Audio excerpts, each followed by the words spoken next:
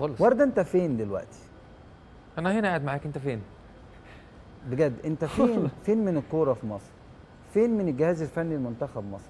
مين اللي بيتابعك؟ الناس والله الناس أنت الناس اتنسيت؟ الناس متواصلة معايا. بجد؟ والله العظيم الناس دي حاجة جميلة. معايا. طبعا. آه. كابتن حسام ع- عارفني كويس. امم وعارف أنا مين كويس جدا وهو عارف آه، وهو عارف شخصيتي. بتقاتل عشان ترجع المنتخب طبعاً. تاني؟ طبعا. طبعا. وهفضل. لو جالك استدعاء قريب لمنتخب مصر هتعمل إيه؟ أكتر واحد مبسوط في الدنيا. هروح أ... لو لو لو جاي كده على المنتخب هروح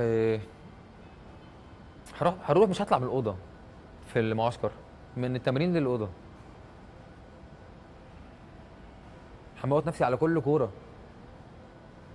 عشان اعرف كل واحد ان أنا موجود وان أنا هموت نفسي على كل كورة عشان اتعلمت من الدرس واستفدت منه آه ايا طبعاً. كان آه آه آه أنت آه طبعاً. ظالم آه، مظلوم آه، آه. ايا كان كل سواء ظالم أو. مظلوم طبعا ايا. كان طبعاً. اتعلمت طبعاً. من الدرس طبعا أنا وحشني وحشني إن يجي يجي يقول لي عندك استدعاء من المنتخب دي وحشتني